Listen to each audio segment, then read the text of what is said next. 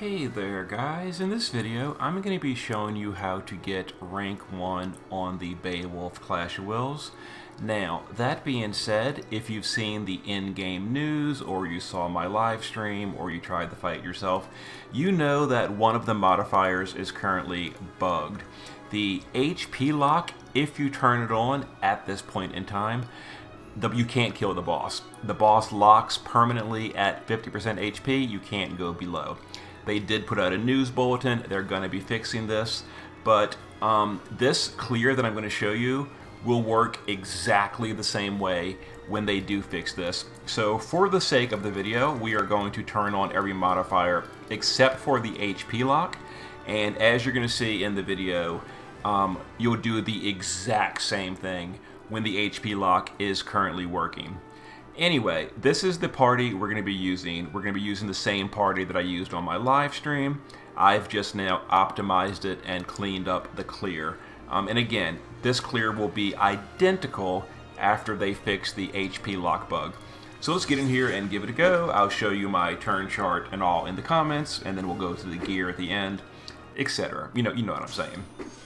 Okay, so for the ambush, the boss puts up a field and some defense and spirit buffs. Not really worried about that. We're going to spend the first few turns just doing setup. So Flaring Rain on turn 1 will do his shifted LB just to stack it up. We're going to use Nora on turn 1 to quad cast. We're going to do Esoteric Lightning, both the Conquerors and Living for 2 to fill the morale gauge. Dwayne on turn 1 will do Blood Shield. Fire Imbue, and then just hit the boss.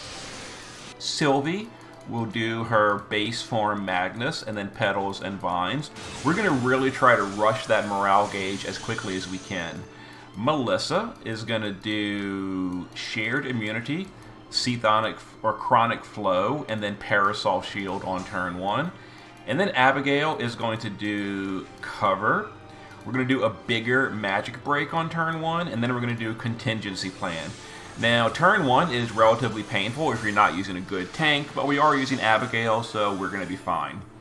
And here we go, some magic damage we're going to cover. Okay. Now, we're going to be doing our biggest burst on turn three. Now, before you freak out and worry about the morale gauge and all, um, you should still, with this party, even if your morale gauge is not super high on turn 3, you should still overcap the damage with the party I'm using. So let's go ahead and get ready for bursting next turn. So Nora is going to quad cast. We're going to do the accuracy increase buff. We're going to do the field to get rid of the boss's field. We're going to do burst for a bigger thunder imperil. And then we're going to do last action, her 150 amplify. Rain is going to do his 150 Amplify. We'll also just do um, Undermine and the Killer buff. We're going to have Sylvie go to the Shift form here. We're going to do Demon Killer on Rain. We're going to use I've Got Your Back on Rain. That's mostly just to rush that morale gauge. This is a big morale boost. And then we're going to do Cheerful for more morale gain. Dwayne will do his big 450 stat buff, 350 LB buff. We're going to do his 150 amplify, and then just, um, wrong skill. Uh, Arcane supplementation, Hellfire infusion, and then just hit the boss with bolting. Abigail on this turn we'll just refresh cover, because that also fills the morale gauge. So we're going to refresh cover. We're going to do the uh, anti-physical mitigation, and now this is very important. We have to do SP drone type L for the light imbue. Otherwise, she won't be able to chain on the next turn. And then Melissa on this turn, we're going to use minutes of might for the morale gain. We're going to use Beast Killer on Dwayne, and then another killer on Dwayne, doesn't matter which one. That's just to fill the morale gauge. Okay, so my morale gauge is pretty high on this turn because I've got like, you know, an EX3, uh, Melissa, all that. But um, if it's if it's not as high as mine, this party should still overcap on turn 3. So now we need to deal 2.5 damage on turn 3. Also, we need to push that threshold. You'll notice on turn 3, the boss has no buffs, the field is still there, so we're good to go. So what we're going to do, before we do anything, we're going to shift the LB our Sylvie for the modifier buff. we're going to have Melissa triple cast all three of her killers on Rain. That's mostly just to max out the morale gauge, but also to give Rain a bigger killer buff. Now we're going to use the LB of Nora and the LB of Dwayne. Also, I'll mention if your Nora or Dwayne are EX3, this clear will need some adjusting. I am doing this clear with the idea that your Dwayne and your Nora are only EX2. So keep that in mind. Flaring Rain will do his shift at LB, and then we're going to triple Absolute Mirror of Equity with, um, with Abigail. And we'll go ahead and chain this up. Now, this should easily do 2.5 billion damage. Um, and now, because the HP lock threshold is turned off, we did go further. So we did 3.7 billion. Overkilled by 1.2 billion, so even if your morale is not as high as mine, you should be fine. Now the boss is going to begin to heal. So you see the boss healed up to 46%. Um, if the threshold lock had been on, the boss would have healed to 40 or 59%. It really doesn't matter because now we're going to just be doing some setup and then doing a bunch of bursts in a row to finish off the boss. So, you know, once the HP lock is um, working, just keep following the turn chart exactly as is. So, so now we're going to start setting up for our big good damage skills by using the SLB of Nora, the SLB of Dwayne. We're going to use the SLB of Abigail. We're also going to use the SLB of Melissa and target Nora for the cooldown reduction when you use Melissa's SLB. Uh, Sylvie can go to, uh, or we're going to do Demon Killer on Dwayne. We're going to, wait, was that Dwayne? Demon Killer, yeah, on Dwayne. We're going to do defense for the Mirage, and we're going to do her Thunder Magnus. Our next big burst is going to be on turn 6. Now Flaring Rain can do Grace of Will. That way the um, the LB damage buff is there on turn 6. We're going to do Undermine and then Prominence Fall just to seal the boss with fire damage.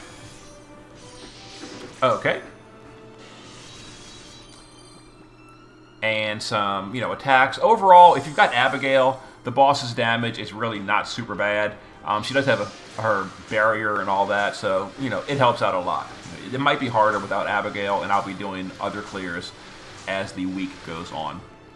But okay, we're still just going to be setting up for now. The boss did reapply the, the field, and the boss has some buffs.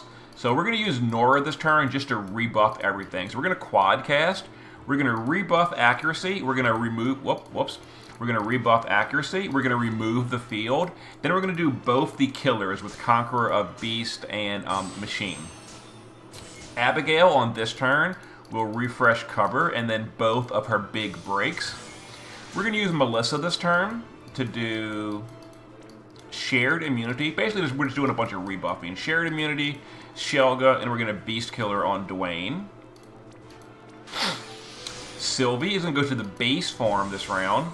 We're going to do Bolt Egg, and then we're going to do Petals and Vines to refresh all those mitigations. And then Dwayne can triple Bolting Strike. And Flaring Rain can triple Pulverizing Force. This is just to deal some damage to the boss to keep him from healing all the way back to 100%. You know, a little bit of damage, the boss will heal back up. We're not really worried about the healing, just keep healing, we don't really care. You know, we are going to use Melissa's healing down later in the fight, but for now, we're, we're just doing a bunch of setup. Okay, so now it's turn 6. Now we're going to go ahead and do a nice big burst. So before we do that, before we burst, we're going to shift Sylvie and do the shifted LB. We're going to have Melissa do seconds of support. Um, whoops Wait, did it wrong. Ah. Seconds of support on Dwayne. We're going to do Parasol. And we're going to do Beast Killer on, um, just Dwayne again. Whatever. Okay, now we're going to LB Nora and Dwayne again. Rain is now going to only use Bolting Strike. We're not going to LB him anymore. So we're going to now do his global global buffed Pulverizing Force three times. And then Abigail will triple Pulverizing Force three times. I'm sorry, Abigail will, tri will triple Bolting Strike three times. And we go ahead and chain this up. This will deal a decent chunk of damage. It might even kill the boss, potentially. Hopefully not, because I want to keep showing the fight. Good, good, good. Okay, so we're going to go... Now, the boss is going to heal some more. We did 2.8 billion damage again. So, in that time, we didn't even have a big amplify, but we still overcapped yet again. Now, if you'd like, you could use less of the 150 amplifies in Phase 1, save some of them for Phase 2, and you'll be done with the fight at this point if you want to. But I am trying to show it for those of you that don't quite have that powerful of a team, etc. So you'll notice the boss's field is back up again, and the boss has these buffs. Now this attack and magic buff is massive, massively powerful. So what we're going to do, we're going to use Melissa to start off with as the first action. This turn is very important. Melissa goes first. We're going to all-consuming darkness. That's going to put healing down on the boss so he heals less. We're going to use Beast Killer on Rain this time. And we're going to Bar Darkja. This is also going to imbue the party with darkness. Now, we don't want a dark imbue for this fight. At least not for this team. So what we're going to do now with Sylvie, after Melissa, we're now going to use Lightning Blessing with Sylvie. That's going to remove the dark imbue. We're going to Demon Killer on Dwayne, and we're going to Not So Fast. Not So Fast will remove that attack and magic buff. We don't want to use Abigail to do that because that'll dispel the imbue. We want to leave that imbue there, but we got to get rid of the attack and magic buff. Okay, and again, the field is still there, so let's go ahead and use the SOB of Abigail. But now Nora is going to quad cast. We're going to first action remove the field and then triple Enigmatic Wave. Flaring Rain will triple Pulverizing Force, and Dwayne will triple Bolting Strike. Now, when we do this, we're going to click Nora by herself. And we're going to wait like a split second for that field to go away. Then we're going to chain the other bolters and weave Nora in. So we're going to click Nora, wait for the field to go away, click the rest, and chain all these up. Now, we're probably, well, we did. We killed the boss on this turn. My turn chart will have in the comments um, a way to continue going all the way to turn 9 if you don't quite finish off the boss on that turn. So the turn chart is all the way until turn 9. Just keep following it if the boss didn't die yet. But, you know, if you're using the same team as me, the boss should die. So there's a perfect score. Again, one of the modifiers is currently bugged. If it was turned on, as you saw, the fight would be literally identical. No difference whatsoever. So here's the damage breakdown. Now keep in mind, we did focus certain buffs on certain units. We, we used a lot of single target buffs in this clear. So this is not the greatest breakdown of everything. But, um, you know, Flaring Rain, very, very strong. Dwayne, also very strong. Nora, pretty good. Um, you know, we do know from calculations Nora is not quite as good of a damage dealer as Rain or Dwayne. But uh, there we go. And then didn't get stuff. And okay, I'll show you the gear.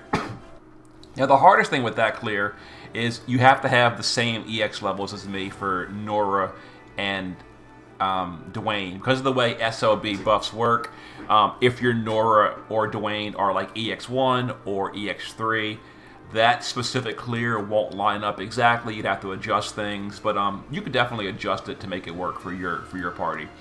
So here's the team that we used. So just some morale fill on um, Melissa. Other than that, not much matters. We, we mirage all the dangerous hits, so she doesn't really take any damage, so who cares? Just morale fill. As much morale as you can fit. So her own card, Celestite Rod, Treasured Ring, all that kind of stuff. Sylvie is dual wielding a morale card. If you don't have this one, dual wield her own card. Um, or you could use something like another copy of Melissa's card, whatever. Um, we gave her counter just for safety. Wasn't important, wasn't needed, but there it is. So, you know, kind of, honestly, whatever.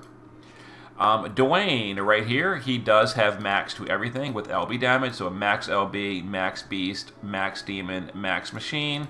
There it is. Here's the setup we're using. Um, this does cap on every single killer and then his own card, and he does decent damage. Uh, Nora is also capped on everything, so we're using two of her fist, um, the control ring, uh, there's the material we're using, and there is her um, or a card, not her card, a card.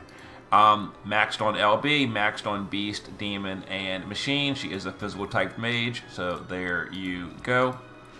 Uh, Flaring Rain, both forms geared identical. Again, maxed on everything, max, max, max. And he was he he got all my best gear, which is which is another reason he uh, was so much higher in the damage breakdown because he got all all the best but there it is. And then Abigail is just bulk, so 12.5 spirit, um, some fire, dark, and lightning resist. Uh, she's also passive provoke and evasion. I don't know if evasion matters. It's whatever. She gears very easily. You know, Abigail's amazing. And there it is. There's the clear. Turn chart will be in the comments. Um, and I will be doing more clears uh, over the weekend. So if you don't have like Nora or something, look for the alternatives. See you in a bit.